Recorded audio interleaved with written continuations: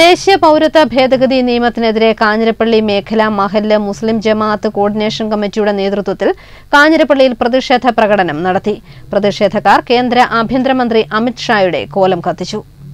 ദേശീയ പൗരത്വ ഭേദഗതി നിയമത്തിനെതിരെ കാഞ്ഞിരപ്പള്ളി മേഖല മഹൽ മുസ്ലിം ജമാഅത്ത് കോർഡിനേഷൻ കമ്മിറ്റിയുടെ നേതൃത്വത്തിൽ നടത്തിയ പ്രതിഷേധ പ്രകടനം ജനസാഗരമായി.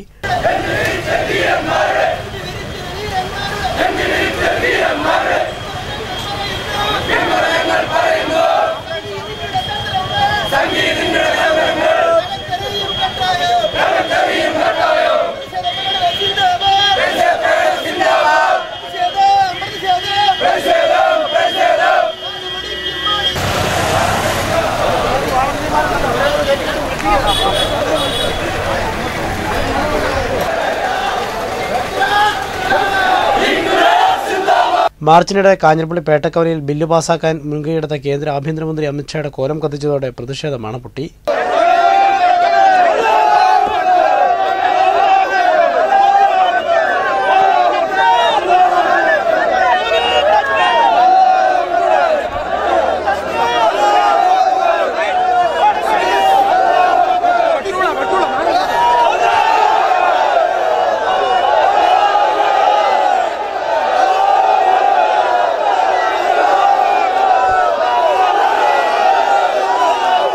തുടർന്ന് നടന്ന യോഗത്തിൽ coordination committee chairman Haji P M Abdul Salam പാറയ്ക്കലിന്റെ അധ്യക്ഷതയിൽ ആന്റോ ആന്റണി എം പി യോഗം ഉദ്ഘാടനം ചെയ്തു.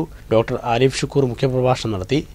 ഇന്ത്യയിലേക്ക് കടന്നു വന്നിട്ടുള്ള അഭയാർത്ഥികളായിട്ടോ നുഴഞ്ഞു കയറ്റക്കാർ എന്ന് ആഭ്യന്തരമന്ത്രി പറയുന്നത് പോലെയുള്ള കുടിയേറ്റക്കാരായിട്ടോ അയൽ രാജ്യങ്ങളിൽ നിന്ന് പ്രത്യേകിച്ച് അഫ്ഗാനിസ്ഥാൻ ബംഗ്ലാദേശ് അതുപോലെ തന്നെ പാകിസ്ഥാൻ. ഈ രാജ്യങ്ങളിൽ വന്നിട്ടുള്ളവർക്ക് മുസ്ലിങ്ങളല്ലാത്ത എല്ലാവർക്കും പൗരത്വം നൽകുമെന്ന് പച്ചയായ വംശീയ ഭാഷയിൽ അവതരിപ്പിക്കപ്പെട്ടിരിക്കുന്ന ബില്ലിനാണ് ഇന്ത്യയുടെ ഭരണഘടനയെ കാത്തു സംരക്ഷിക്കേണ്ട പ്രധാനമന്ത്രിയും അതുപോലെ തന്നെ രാഷ്ട്രപതിയും ഒപ്പുവച്ചിരിക്കുന്നത് എന്ന് നാണക്കേടിന്റെ അങ്ങേയറ്റമാണ് എന്ന് ഈ സമ്മേളനം വിലയിരുത്തുന്നത് നമ്മളോട് പറയാം. മേഖലയിലെ അറുപത് മഹലുകളിൽ നിന്നായി അയ്യായിരത്തോളം പേരാണ് റാലിയിൽ പങ്കെടുത്തത്. Kanjirappally panchayat president Shakeel Nasir S N D P high range union president advocate Jeeraj വിവിധ മഹൽ ഭാരവാഹികൾ തുടങ്ങിയവർ പ്രതിഷേധ പരിപാടിയുടെ ഭാഗമായി. Cabinet news Kanjirappally.